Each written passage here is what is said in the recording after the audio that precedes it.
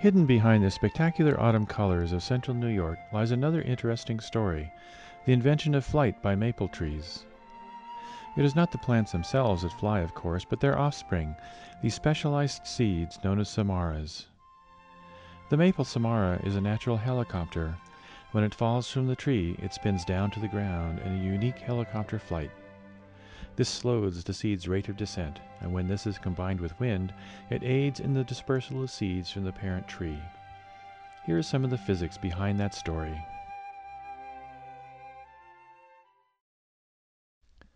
When the samara drops, its downward momentum is converted to angular momentum and the seed begins to spin.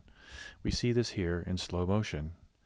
As the seed spins, the wing generates lift, slowing its descent. The lift is proportional to the seed's spinning speed.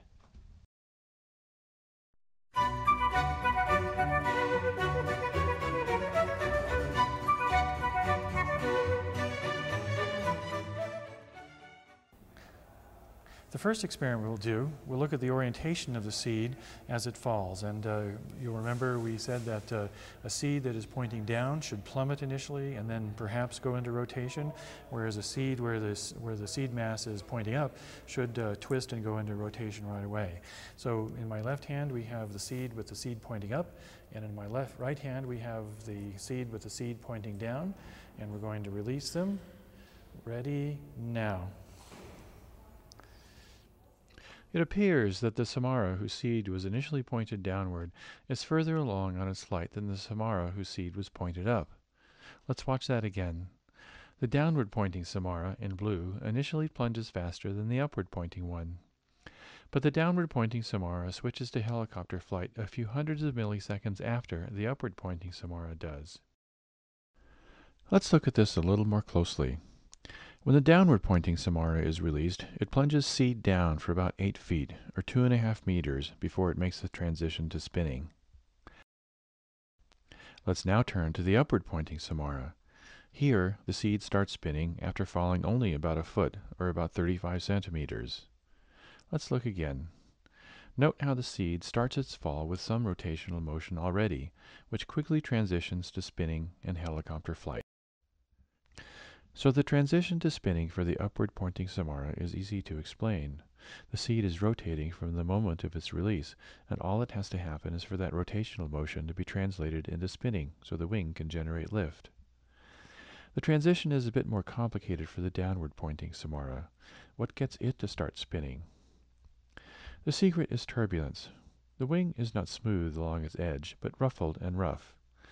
Once the seed attains a particular downward velocity, the ruffled wing generates turbulent vortices off its trailing edge, which sets the seed rocking back and forth. This takes a few hundreds of milliseconds to begin, but once started, these instabilities are quickly converted to rotational motion and helicopter flight.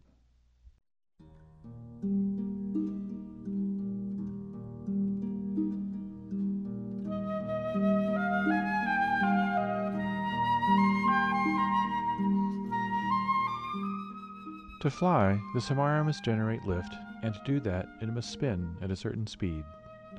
The faster the Samara spins, the more lift it can generate, and the slower its descent will be. If the Samara spins at a slower rate, the lift it generates will be less, and the seed will fall faster. In turn, spinning speed depends upon the shape of the seed, in particular, a property known as the second moment of area. The second moment of area sounds like something formidable, but the principle is easy to understand. Second moment of area simply measures how the mass of an object is distributed.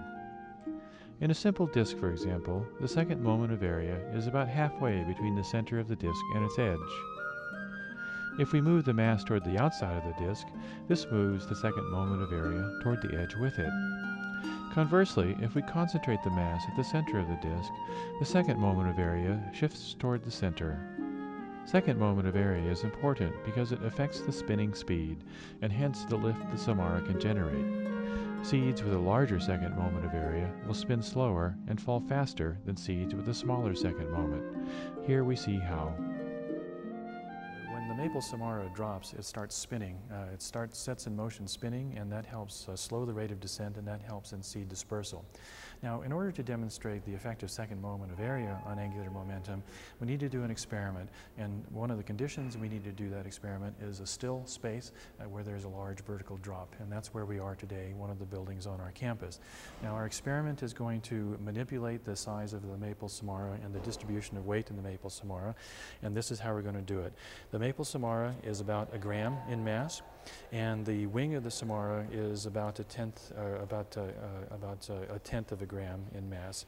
And so what we're going to be doing is we're going to be adding weight to the, uh, to the wing with these little tinfoil clips.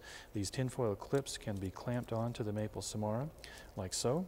And those tinfoil clips will add about another 10 milligrams of mass onto this, onto this maple samara. And by simply moving this clip back and forth, we can change where the second moment of area is. That is, whether it's close to the center of mass of the samara or further away from the center of mass of the samara.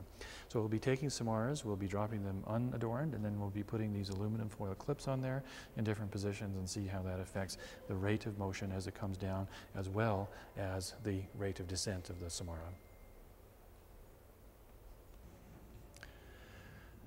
In this experiment, we're going to look at the effect of the distribution of mass on the, on the, on the seed. And in my left hand, I have the maple clip close to the seed. Second moment area is small. And in my right hand, I have the clip far from the seed. Second moment area, area should be large. Let's see what happens when we drop them. We see that the seed with a larger second moment in the blue circle falls faster and its flight is unstable, eventually stalling and plummeting to the ground. In contrast, the seed with the smaller second moment in the red circle maintains stable helicopter flight all the way down. In addition, the seed with the smaller second moment makes the transition to stable helicopter flight sooner than does the seed with the larger second moment. The effect of second moment is most evident looking down on the flight from the top. This video is slowed to a third the natural speed. The seed with the larger second moment in the blue circle spins noticeably slower than the seed with the smaller second moment in the red circle. We can push the second moment even further by placing the clip as far out on the wing as possible and comparing its flight to the seed with the small second moment. When dropped, the seed with the largest second moment, circled in blue, quickly plunges to the ground in a rapid tail spin, never attaining helicopter flight. The seed with the smaller second moment, circled in red, spins gracefully to the ground.